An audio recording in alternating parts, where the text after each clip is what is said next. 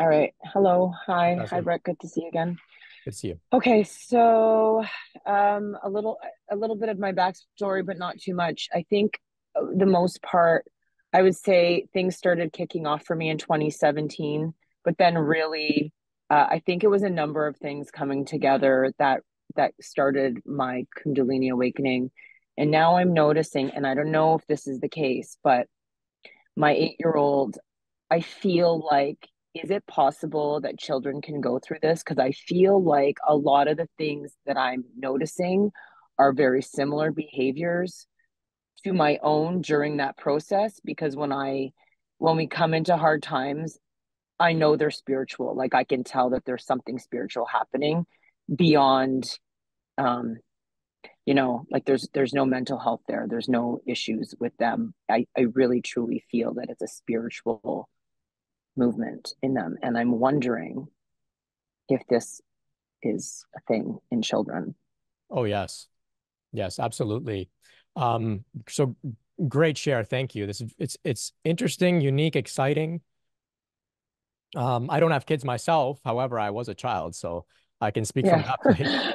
Um, yeah, so definitely kids come into this world with prior lifetime experience uh, traveling the path. And some come in uh, uh, consciously choosing particular parents because, you know, your journeys are synergistic and meant to support one another.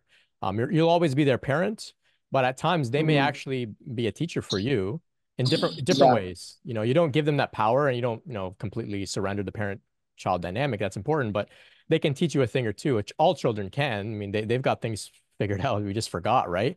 But uh, Yeah. yes, it Yeah. is, it's not uncommon at all. Um, I've spoken to maybe about somewhere like 10 people with kids uh, that are experiencing stuff like this. I spoke to one gentleman.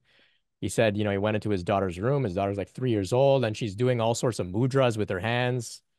And they're like, uh, you know, a white family from like actually Toronto, where you're from. So it's not like they're like Indian Right. people, you know, watching like you know, any of this stuff or religious stuff influencing her. It's just completely organically happening. Um, Yeah. there's a great uh like uh you, you know, you could say he's a saint, um, JP Vaswani. Let me just see. I wrote his name down here. Yeah, JP Vaswani, who's from India. If I'm not mistaken, his uncle was like a great spiritual master. And so when he came into this world, he connected with his uncle. And as from a child, he had like all sorts of siddhis and, and great abilities.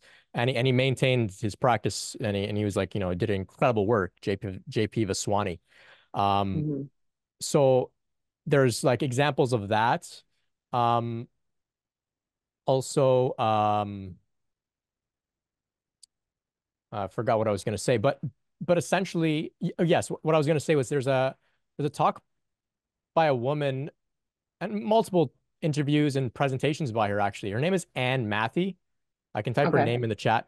Sure. She may have some insight for you. Now, I admit, I admit I haven't explored her work too in depth, but I know that her dad had gone through Kundalini awakening and was, you know, a pretty advanced person. And her dad used to talk to her at, when she was a young child about this stuff. And she would Mm-hmm. listen very closely, intently. When she was, I think, in her teens, she had a Kundalini awakening. And when it happened, she said, Ah, this is what dad was talking about. And she kind of knew what to do or was able to figure it out. So, you know, you may be able to, you know, figure out uh, a thing or two there. Um, overall, though, if you have questions, you know, what do I do? Ultimately, remember that, you know, um, something brought you two together, and that something won't let you guys mess this up. It's going to unfold how it needs to unfold. So you just follow your intuition, relax, relate.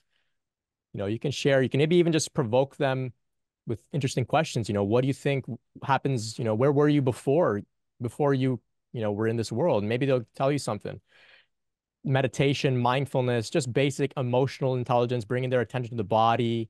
Um, you know, Yeah. whatever it is that feels right for you, you they're still your child, you teach them. But um, the best thing you can do, in my opinion, being a child that had a lot of spiritual openness, the best thing you can do is just not instill fear, not tell them that something wrong with them, and yeah, yeah, of um, course, of you know, course. And and and in our house, like we're very open about that. And and I know like they've communi he's communicated to me about like being able to sense spirits too. Like he's very open and and I'm I'm all about that. You know, I'm so I'm uh, very very metaphysical so i'm okay with that but i just didn't realize that you know it could happen so soon